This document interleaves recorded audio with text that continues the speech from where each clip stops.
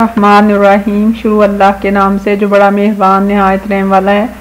तो प्यारे बच्चों हर कोई कामयाबी चाहता है सक्सेस और हर कोई हर तरीके से हासिल करना चाहता है लेकिन इसका इस तलाश के राज से पहले ये तो जाने कि चाहते क्या हैं वो कौन सी का, कामयाबी है जो आप चाहते हैं? हमें कामयाबी का पता तो होना चाहिए कहीं ऐसा तो नहीं कि हम वो पूंजी ढूँढने की कोशिश कर रहे हैं जिसका हमें पता ही नहीं है कि वो चाबी कैसी है, उसका रंग क्या है, उसकी शक्ल कैसी है, लेकिन हम ढूंढे जा रहे हैं।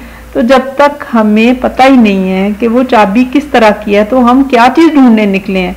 और हमें पता ही नहीं है कि किस रास्ते पे चलेंगे तो वो कुंजी जो कामयाबी की कुंजी है, वो मिलेगी कि हर चीज़ जो है हमारे सामने रास्ते आसान हो जाएँगे। तो लाश शुरू कहाँ से करें? ये तो नहीं है कि जा किसी और रुख की तरफ़ जा रहे हैं जनूब और वो मशरक में है तो अल्लाह ताला हमें कुरान मजीद में बताता है कि कामयाबी हासिल करने वाले वो लोग हैं जो अल्लाह पर ईमान लाते हैं, नमाज़ कायम करते हैं, जो अल्लाह ने रिस्क अता किया, उसमें से उसको खर्च करते हैं।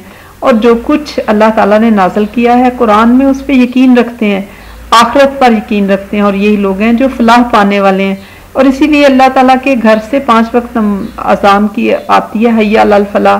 फलाह की तरफ़ आओ तो प्यारे बच्चों, वो रास्ता जिसपे हम चल के कामयाबी हासिल कर सकते हैं, इहद नसरातमस्तकीम और अल्लाह ताला कुरान मजीद में कहते हैं, बिला शक् शबा हमने रोशन और वाज आयतें उतारी हैं। अल्लाह ताला जिसे चाहे सीधी राह दिखा देता है। हम तलब तो करें अल्लाह से, सीधे रास्ते पे चलना तो शुरू करें। जहाँ पे भी हैं, जिस वक्त भी हैं, अल्लाह की तरफ़ रुख मोड़ें। अल्लाह को जाने और पहचाने तो प्यारे बच्चों, इस रास्ते को हासिल करने के लिए कुरान मजीद को तर्जमे के साथ पढ़ना शुरू करें। टॉकिंग अबाउट योर सेल्फ अपने बारे में बातचीत करना।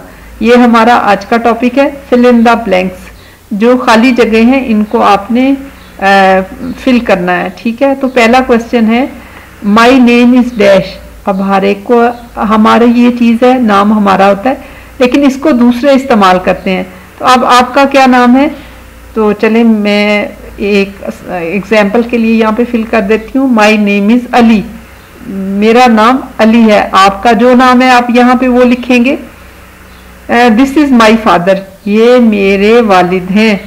हिज नेम इज़ अब आपके वालिद का नाम क्या है? आप uh, जो है वो अपने वालिद का नाम लिखेंगे लेकिन एग्ज़ाम्पल के तौर पे मैं यहाँ पे नाम लिख देती हूँ। आपने वीडियो स्टॉप करनी है खुद से इसको फिल करना है।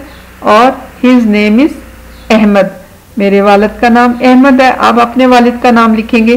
फिर नेक्स्ट क्वेश्चन है मीट माई मदर मेरी वालदा से मुलाकात कीजिए। तो अब आपकी वालदा का क्या नाम है, आप वहाँ पे लिखेंगे। हर नेम इज़ क्या नाम है, अब देखें कि आदमी के लिए हिस आया और औरत के लिए फीमेल के लिए हर आया। वीडियो यहाँ पे स्टॉप करें। और जो आपकी वालदा का नाम है, वो यहाँ पे लिखें। तो हर नेम इज़ असमा तो देखें अल्लाह ताला ने हमें माँ बाप की इज़्ज़त और एहतराम के लिए कहा है। The best gift from a father to his child is education and upbringing नबी वसल्लम का कहना है। Your parents are the door to Jannah open it or close it your choice ये जन्नत के दरवाजे हैं, इन्हें खोलना या बंद रखना आपके इख्तियार में है। क्योंकि वालद की रजामंदी अल्लाह की रजामंदी है और फिर है लव योर पेरेंट्स अपने माँ बाप से मोहब्बत करें, क्योंकि वक्त के साथ ये बूढ़े हो रहे हैं। फिर वा, बिल वाले एहसाना, कुरान मजीद में आता है, be good, do good to your parents, अपने वालदेन के साथ अच्छा सलूक करो। रब्बिर हम हमा कमा रब्बा, यानी सगीरा, ये दुआ अल्लाह ताला ने सिखाई है कि अल्लाह ताला उन पर रहम फरमा, जैसा कि उन्होंने मेरे छोटे होते हुए मुझे रहम किया, और उनकी माफ़ कर दे जिस दिन तू हिसाब लेगा। I have dash sisters and dash brothers next question है इसको यहाँ पे स्टॉप करें। आप इस तरह वहाँ उतने अपने बहन भाइयों के नाम लिखेंगे जितने आपके हैं। I have two sisters and two brothers मेरे दो भाई हैं और दो बहनें हैं।